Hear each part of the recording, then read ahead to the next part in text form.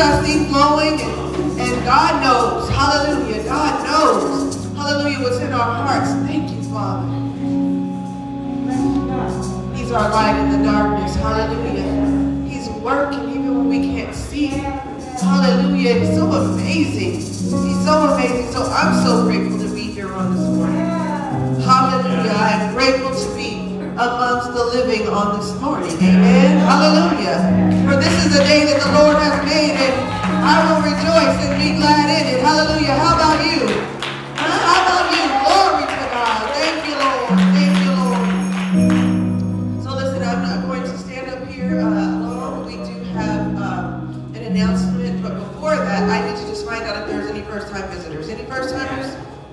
Amen. I see one. Any other first-timers? Hallelujah. Glory to God. Okay, would you mind just standing and giving us your name, where you're from?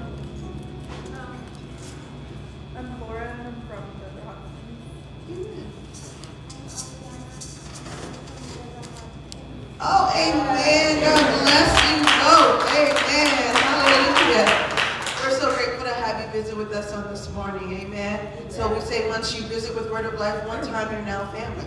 So whenever the doors are open, we welcome you to come and be with us. Join us. Amen. Hallelujah. We praise God for you this morning. And all of you, family, we love you. Hallelujah. We thank God for you as well. Those who are on Facebook, we love you. Hallelujah. God bless you. Amen. Evangelist Sandy is coming. Uh, she has an, she has something. She's coming. Amen. As may or may not know, this is Bishop and Pastor's 18th wedding anniversary. And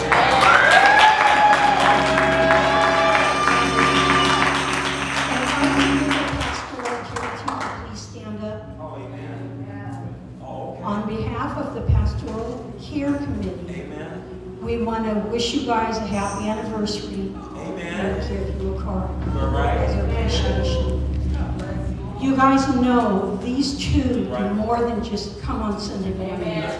It's a 24-hour-a-day job. They are on their knees constantly for us, keeping us uplifted, taking care of us, serving in the community, doing a multitude of different things, and we are so grateful for all that they do. The education too, I mean, there's just so much that they do. And we want to thank them. And what we'd like to do, Sister or Minister Tierra, could I have you up here?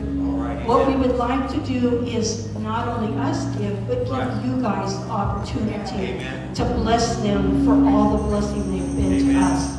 So um, Minister Tierra has a basket. If you would like to come up and give an offering for them, to bless them, so today they can enjoy their day a little bit, we appreciate it. Up to the cross, please? Amen. Amen. Thank you, thank you. Now, if you guys aren't, don't have the cash today, you can also cash app it to dollar sign Dr. K. Shep. And if you need to see me afterwards, I can give you the information. Um, you can write checks payable to Keith Shepherd, or you can offer the basket. And we are grateful because they do so much and you know their humility. They never ask for anything. They always go over and above. But anytime we ask for anything, they're right there for us. And we, are grateful and we appreciate it. So thank you everyone for contributing. We appreciate it. Thank you. Happy anniversary. I told Pastor about a week ago, I said, you're 18 years. I said, I don't consider people married till they hit 20. I said, you're real close. Because once you hit 20, then it seems like it's smooth sailing. You start working together like a well-oiled machine. And, and I know you guys are already working as a well-oiled machine, but it'll get better. Thank you. Thank you. All right, thank you.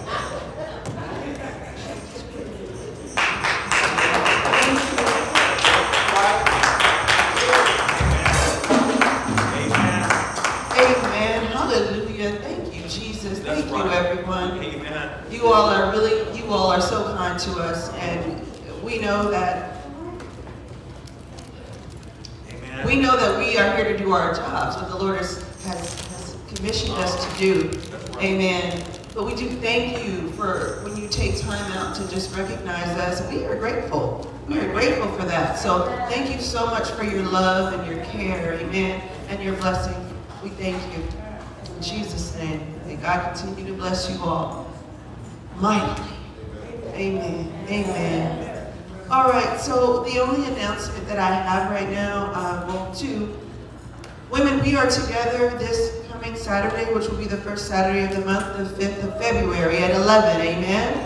All right, amen. We are here, the 11th. What I am asking of you ladies who will be joining us this, uh, on the 11th is that you think about, pray about, Ask the Lord to put on your heart something that he has blessed you with, that has been a blessing to you in your life, that you are now willing to pass on to someone else, to bless them.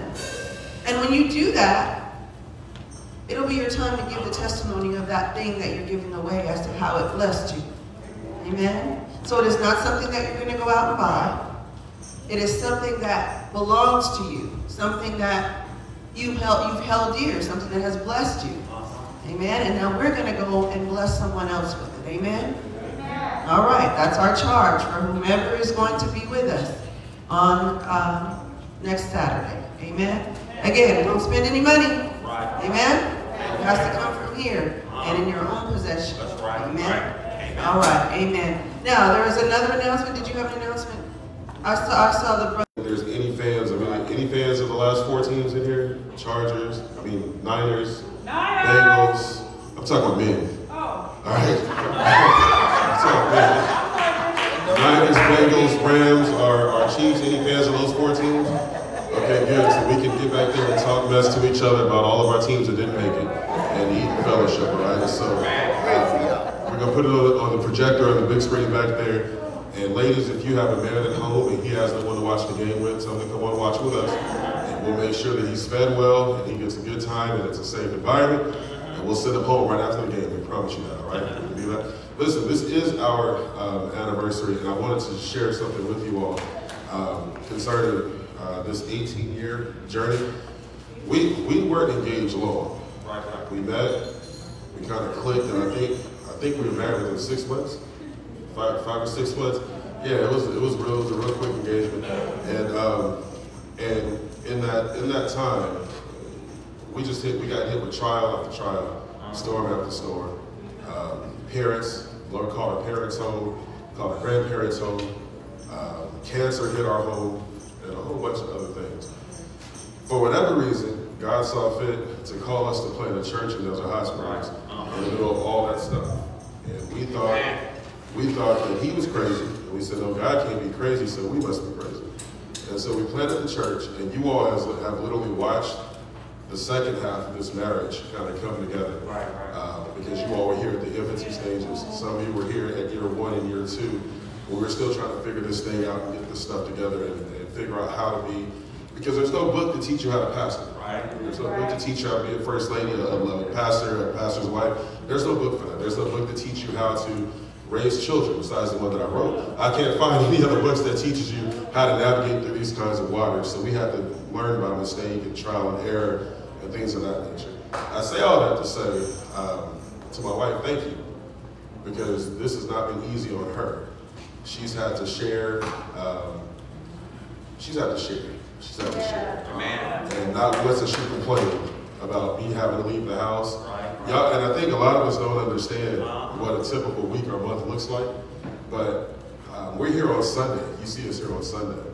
But not, not many people see the nights that I have to leave the house because somebody's child is dying in the hospital or somebody's child is locked up, incarcerated, or somebody is dealing with law enforcement.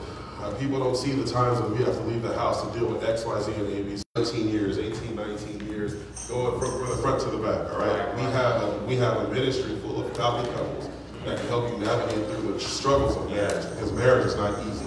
All right. So please, if that's you, even on Facebook Live, if that's you, don't struggle by yourself. Don't struggle in silence. Call the church if you need help from a couple. God need help from a couple. We got you. All right, we got you. All right. Last but not least, amen. Amen. Last but not least, the Canellas had an anniversary yesterday.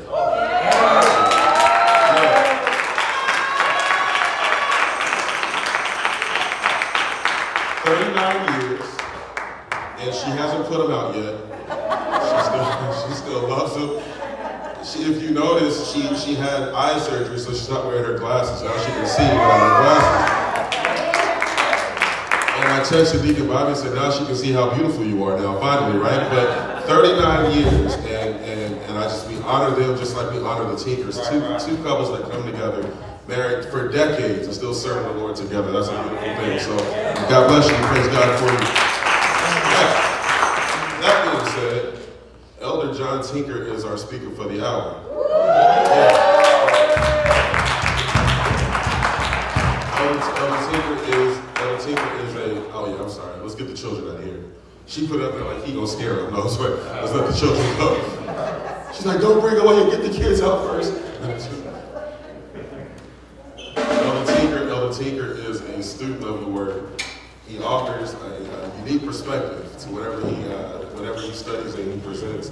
And on today, it's our honor to have him with us Amen. to break the bread of life with us on today. So would you all say a prayer for Elder Tinker as he comes in his own way? Amen? Amen.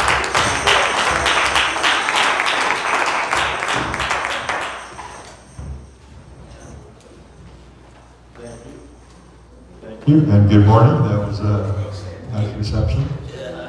I was thinking, uh, Pastor, when you were talking about the ladies thing, bring something to give away.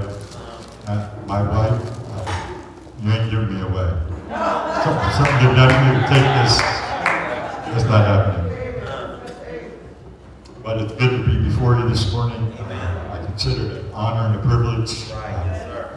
And uh, thank God I'm here under much different circumstances than I was the last time I stood before you. You see, today I was actually scheduled to be here. The last time I was up here, the Friday before, uh, Bishop got pneumonia and went to the hospital. Saturday morning, they told him, you ain't getting out till Wednesday. And then I got a call, hey, you're up, I need you. And uh, that was fine, uh, I'm ready. I'm always ready. Um, Amen. But what you probably didn't realize is uh, Elder Sandy and I had a conversation that Friday afternoon, and she said, you know, you might want to think about getting something ready. And I said, I'm already writing And I stayed up Friday night and I wrote my sermon outline, so we, we were good. Amen. So, let's pray. Dear Lord, I thank you for this day, and I ask that you bless these words I'm about to present. And I ask that you cause this to bless somebody's heart, God. We thank you in Jesus' name. Amen. Amen. If you want to follow along, I'll be in Philippians 3, 13 and 14 for my opening scripture. I hardly ever do an opening scripture, but I thought I would do it today. Amen. And it says, Brothers and sisters, I do not consider myself yet to have taken hold of it. And so let me back up. Apostle Paul had been talking to the Philippians about how to live a good, full Christian life. Right. And uh, just as he said that, he said, brothers and sisters, I do not consider myself yet to have taken hold of it. He, he doesn't, he's not there, but he knows where he's going. And then he says, but one thing I do, forgetting what is behind let me say that again. Forgetting what is behind, and we're going to come back to that in just a minute. And straining towards what is ahead. I press on towards the goal to win the prize for which God has called me heavenward in Jesus Christ. Three weeks ago on this platform, uh, Minister Tim was here, and he preached a great message. If you didn't see it, uh, it's on the Facebook page. I highly suggest that you go have a look at it because it was amazing. Uh, and he talked to us uh, from Hebrews, well, from a bunch of places, but Hebrews 12, uh, where Paul again writes, and let us run with perseverance the race marked out for us. And when I left church that day, I was kind of fired up. And uh, normally I get home from church and I put my guitar down, my wife changes her clothes, and we go out to lunch. But on this day, I sat down at the computer and I said, you know, uh, I know Apostle Paul talked about the Christian life as a race quite a bit. And I think I've seen it before, and I started looking it up, and I was surprised at how many different references in the Bible equate our life to a race. Uh, David wrote about it a couple times, Isaiah, Jeremiah, James, there's a bunch of others. Uh, but I, I find when God repeats himself, which I think he does for me because I have this big fat head, uh, when he repeats himself, it's probably important. And so if I had to give a title of this message this morning, it would be Keeping Your Eye on the Prize. All right. Keeping Your Eye on the Prize. Uh, some of you know I played in a Christian rock band in the 80s. Uh, some of you don't. Some of you probably don't care, and that's okay too. but uh, we made records and toured the country. It was, yeah, and they actually were records. Um, and our, our, great guitar player, Steve Olson, who is watching from Alaska, shout out Alaska. Steve Olson wrote a song called Eye on the Prize.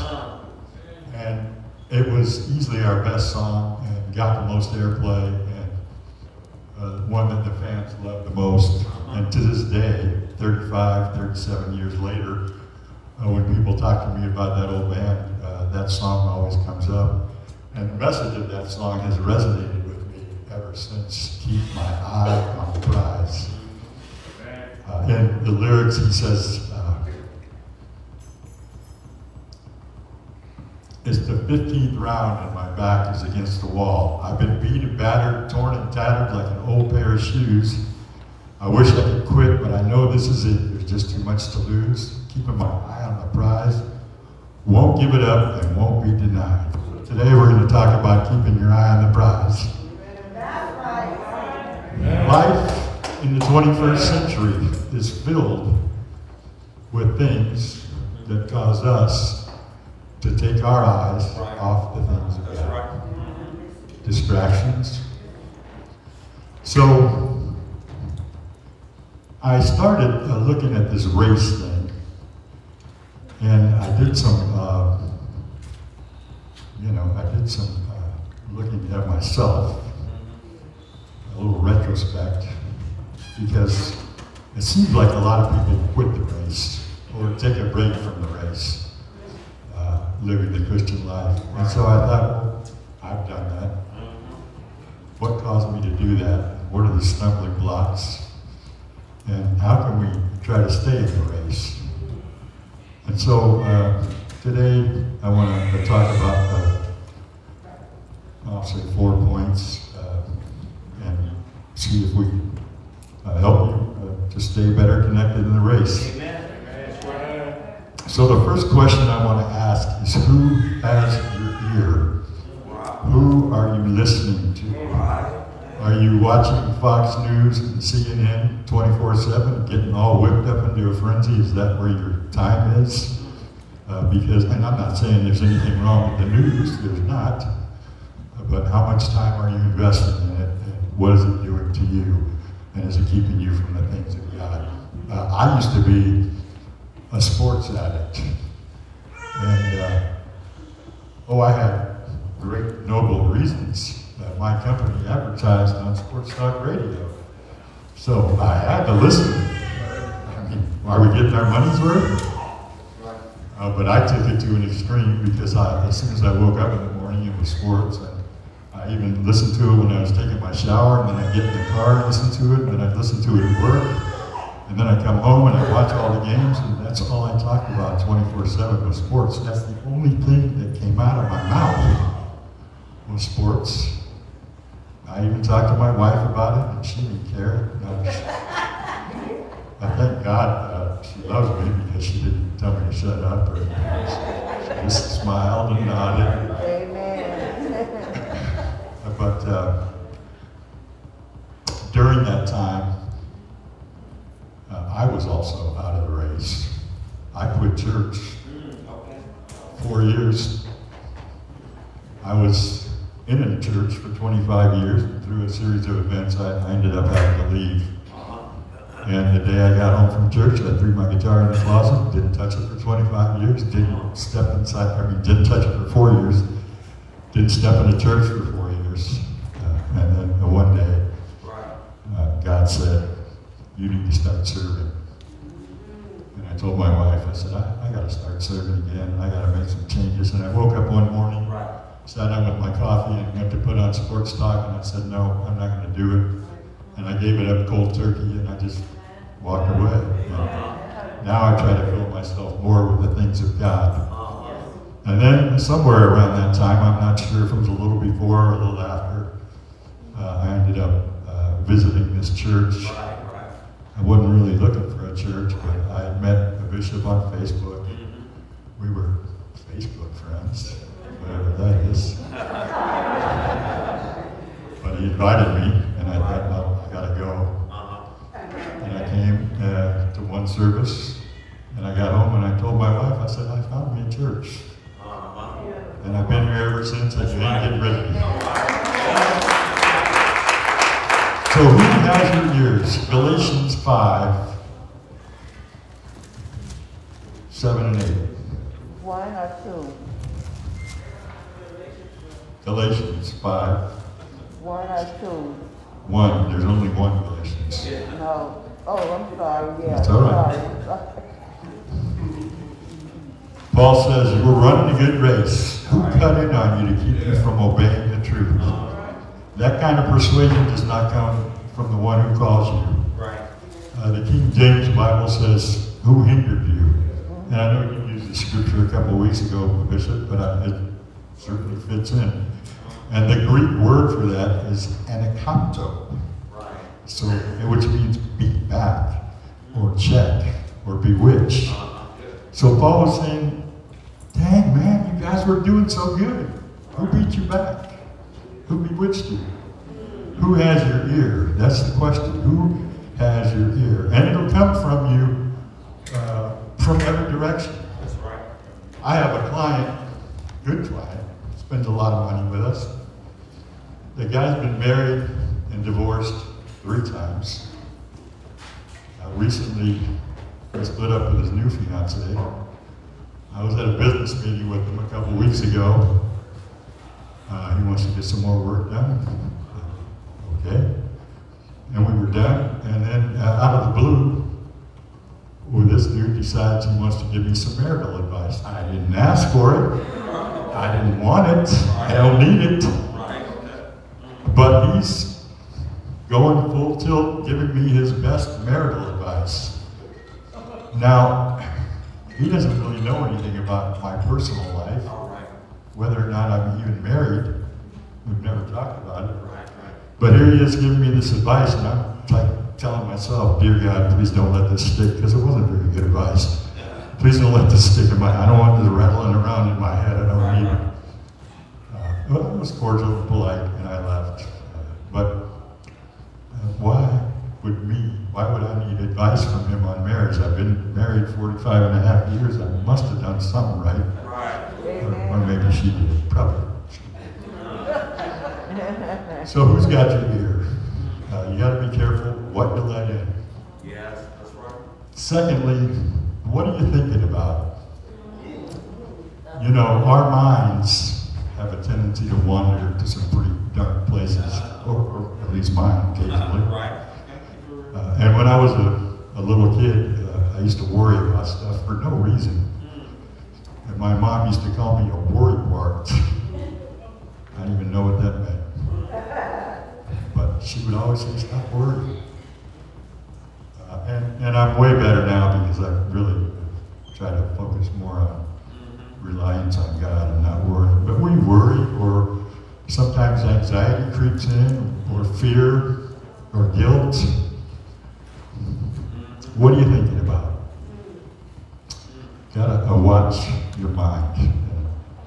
Whenever this happens to me, whenever my mind starts to go to someplace dark, and I need to check myself, I have one word that I say to myself. I have a lot of words, little key words that when something comes up and I need to get myself back on track, I use it.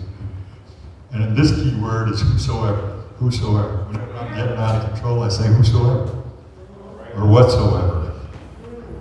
But so we'll look at Philippians 4 8. Finally, brethren, whatsoever things are true, whatsoever things are honest, whatsoever things are just, whatsoever things are pure, whatsoever things are lovely, whatsoever things are of good report, if there be any virtue and if there be any praise, think on these things.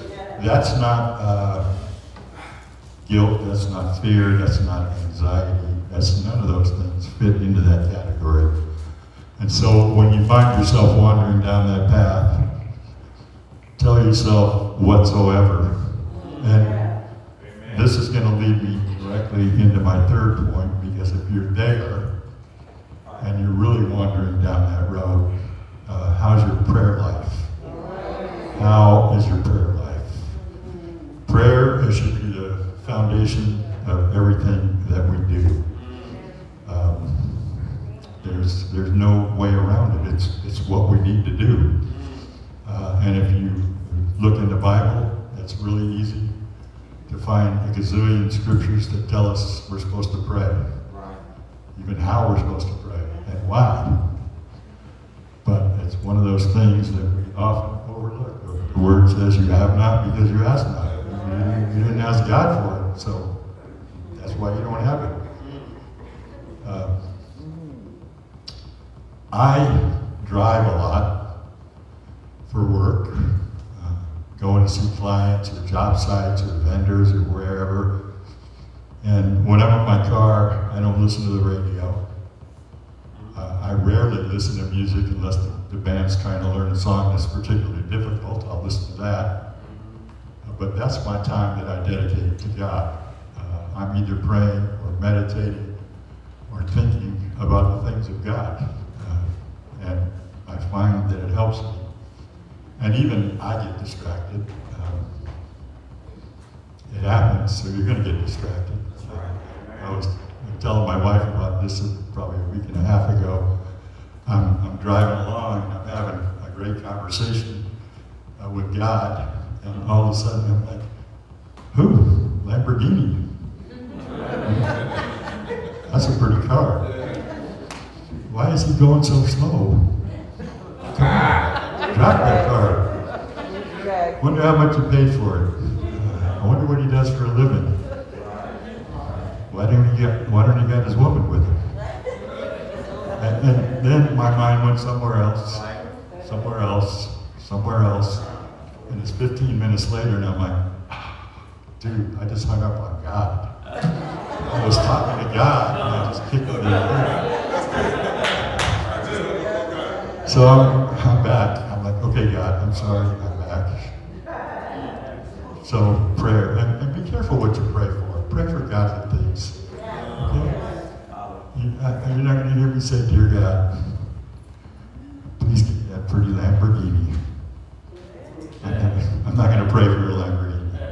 Uh, first of all, uh, I don't think I could afford the insurance, let alone uh, better not break down.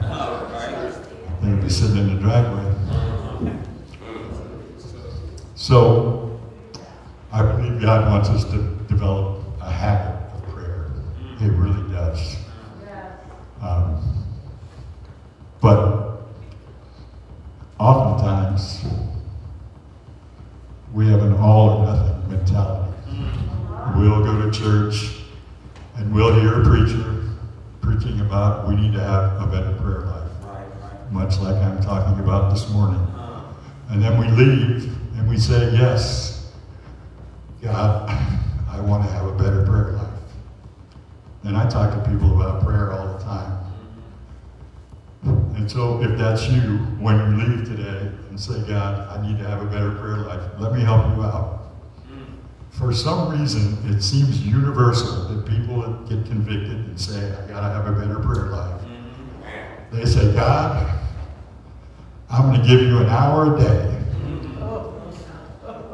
I don't know why they pick an hour. But the first day, they pray for 20 minutes and they ain't got nothing else to pray about. The next day, uh, 10 or 12 minutes. The next day, they, they can't pray at all because something came up. And the day after that, they say, I'm doing this no more. There's no way I can pray for an hour a day. And we have an all or nothing mentality, unfortunately. So they just quit praying. And that's not going to develop a habit of prayer.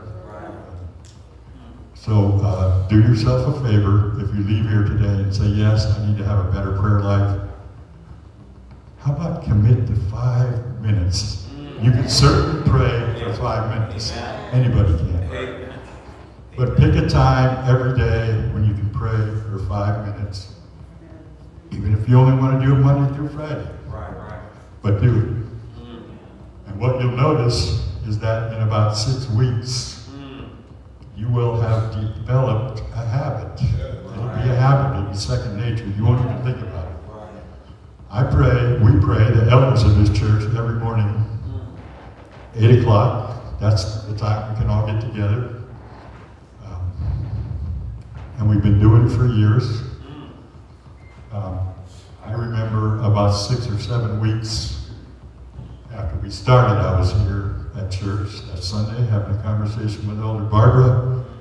And she said, You know, yesterday, Saturday, we only pray Monday through Friday. She said, Yesterday I got up and it was 8. And I had my phone in my hand and I was staring at it. And I'm like, why didn't he calling? He's to call. He always calls. And she said, Then I realized this Saturday he didn't calling. That's a habit of prayer. Elder Barbara has a habit of prayer. And uh, we have almost perfect attendance every day. Now, occasionally somebody can't join us, and we understand that, so no big deal.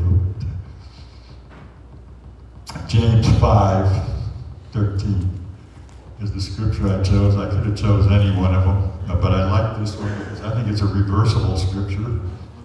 Um, and it says, Is any among you in trouble? Let them pray. Is any happy? Let them sing songs of praise.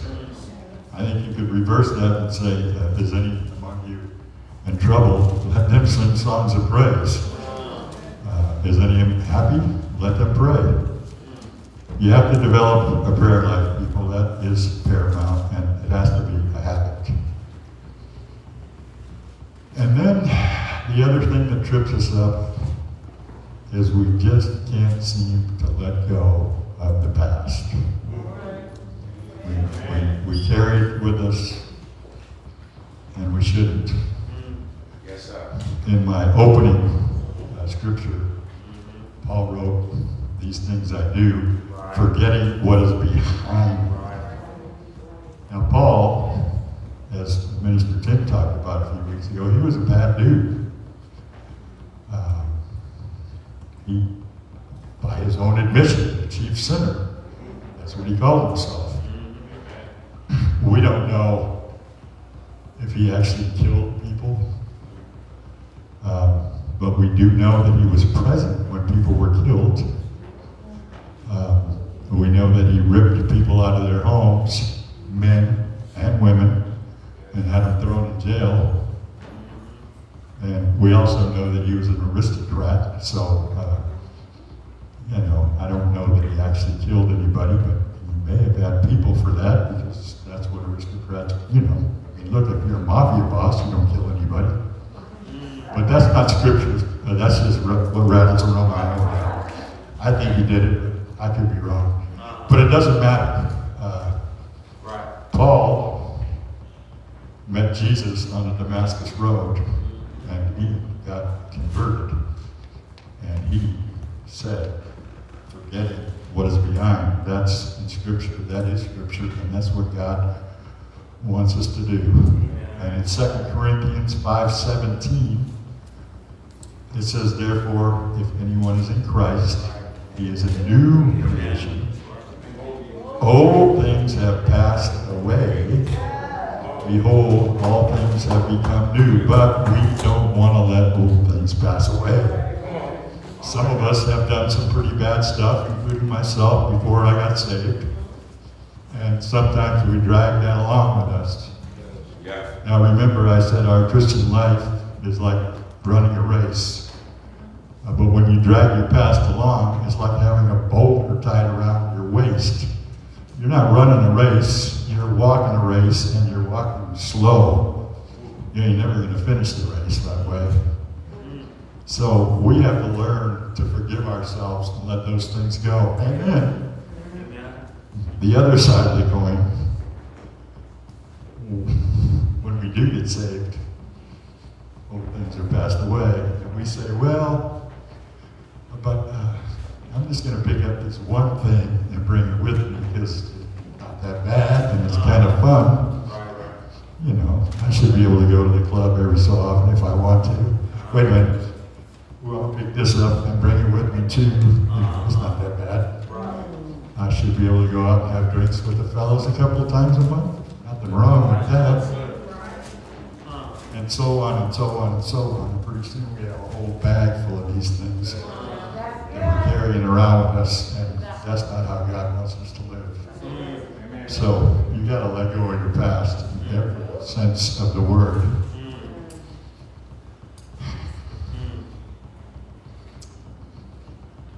This is another scripture that Bishop brought, brought up a while back, but uh, I, I want to bring it up again. And the truth, I already had it written in my outline when you brought it up a couple weeks ago. I was on pins and needles, you brought it up, I'm like, don't you steal my sermon, dude. Stop doing that. Psalm 1, verse 1 and 2. It says, blessed, meaning fortunate, prosperous, favored by God. That's what I want to be. Blessed is the man who does not walk in the counsel of the wicked, meaning their advice and their example. Are you getting good, godly advice? Nor stand in the path of sinners, nor sit in the seat of scoffers. But he delights in the law of the Lord. And on his law, his precepts, his teachings, his word, he meditates day and night. That means habitually, day and night. So let, let me wrap it up by saying this. Don't let anybody steer you off course. Mm. Guard your thoughts,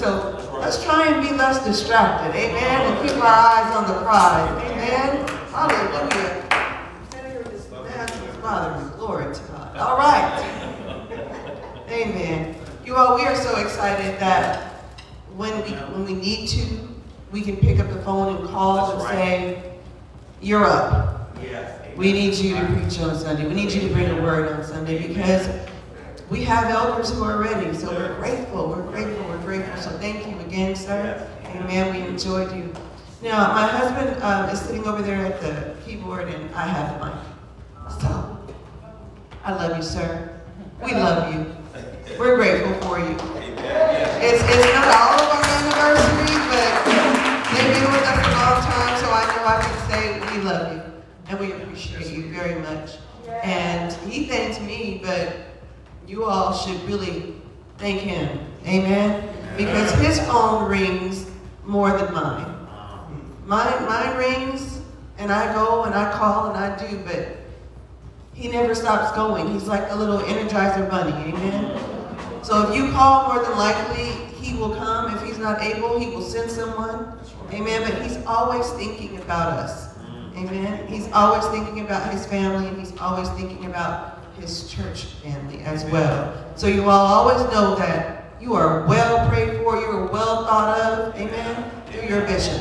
Amen. So I love you on today. 18 years is like like two, actually. It's like two. It doesn't seem like it's been 18 years, but I'm grateful. I'm grateful to God for this man who loves me woo, beyond. Amen.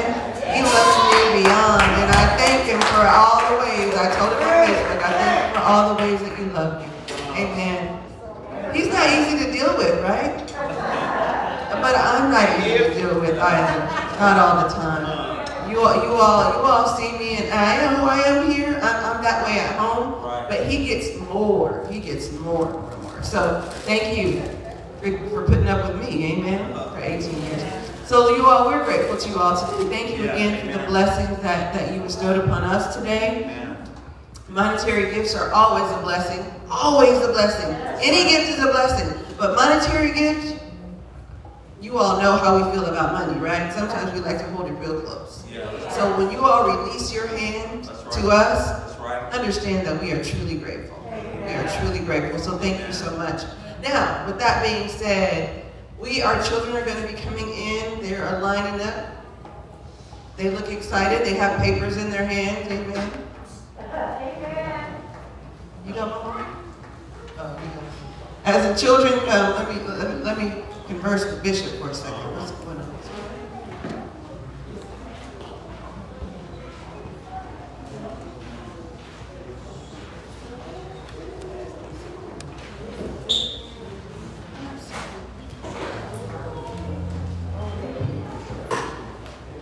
Amen. All right, babies. So, before we dismiss, we are going to pray for the distracted in the house. That was his request. That, that we pray for the distracted in the house. There, that can be everyone. That can be everyone at different times. Amen. But sometimes, even in the house, we're distracted. When we're in this place, in this building, where we allow ourselves to get distracted. And we cannot do that. We cannot do that. We cannot take our eyes off the prize. We cannot take our eyes off of God. So when you commit to being in communion with God in whatever way that it is, that's your commitment to Him. Let's not break it. Let's do our best. Amen? So let's pray. Father God, in the name of Jesus, we thank you again on this morning, Lord. We thank you for this day, Father God, that you have given us, God. Lord, it wasn't promised to us, but yet here we are. So now, God, we heard the message that went forth today, God, to keep our eyes on the prize. Lord, we just ask your Holy Spirit to just empower us to do just that, God. Lord, when we commit time to you, God, when we commit our thoughts, Father God, to you, help us, Lord, in the distractions, Father God. Let us not look to the left or the right, Father. Let us not keep our ears open to anything but your voice, God. Lord, we need you every hour of every day, God. We need you. And if we need you, Lord, we need to make sure, Father God, that we keep our eyes on you, Father God. Our ears attentive to your word, Father, in the name of Jesus. So, Lord, those who are distracted outside the house, God, those that are distracted inside the house, God, we pray a special prayer, God, for those easily distracted, Lord. And for some of us, God, who just sometimes, you know, we let ourselves go there. Help us, Father God, in the mighty name of Jesus, Lord. We know that we need to be close with you. So we're praying, Lord, that when we leave this place today, Father, we'll be better. We'll be better with less distractions, Father God. And, and as the days and the weeks and the months and the years go by, Father God, that we'll have less and less and less distractions and worries, God, and fear, Father God, that we can just hone in on you. So we thank you, God, for all that you're going to do for us, Father, in the mighty name of Jesus. We thank you, we praise you, and we give you glory. Amen. Amen, amen, amen. Listen, you all, if you're in the house and you notice a distracted person in the house, just tap them on the shoulder and say, we got to keep our eye on the prize. Yeah. Amen. Just, just tell them we need to keep our eye on the prize. Because that's why we're here. Amen. To get what God has for us and also to give him what we have for him. So we thank God for you all. We're going to be watchers one for another. Amen. Amen. All right. We're standing. Our offering baskets are in the back. You have your tithe and offering. Go ahead and, and give that to Deacon Bobby. And that's that round basket that's in the back. Amen. If you want to bless Bishop and the family, there's a little rectangular basket back there. Amen. We thank you all for, for all you do. We thank you for coming here and communing with us, with the Lord. You can be anywhere, but here you are. So God bless you. All right, so we're going to be dismissed row by row, and I'm just going to pray a prayer of benediction. Amen. All right. Father God, in the name of Jesus, we thank you, Lord. We praise you. We give you all the glory, Father. Lord, we had a wonderful message on today, Father, and we just ask that you help us to hide that message in our heart, Father God, so that we can run it out, Lord. Not even walk it out, run it out, Father God, for you, in the name of Jesus. And Lord, as we leave this place, but never your presence, God, we ask that you watch over us and that you keep us, Father God, in the hollow of your hand, Lord. Lord, help us with our distractions, Father. Keep us, Father God, focused on you. And Lord, a special prayer, Lord, to all who just saw fit, Father God, to just bless us today, Lord. They didn't have to do it, Father God. Bless them, Lord, in a mighty way. We thank you, Lord, for this 18 years that we're together, Father God. We thank you for the time that we spent during those 18 years, Lord, here serving your people, God, in your community. We just ask, Lord, that you keep us going, Father God, in the right direction. We thank you, we praise you, and we give you all the glory. In Jesus' name, amen. God bless you.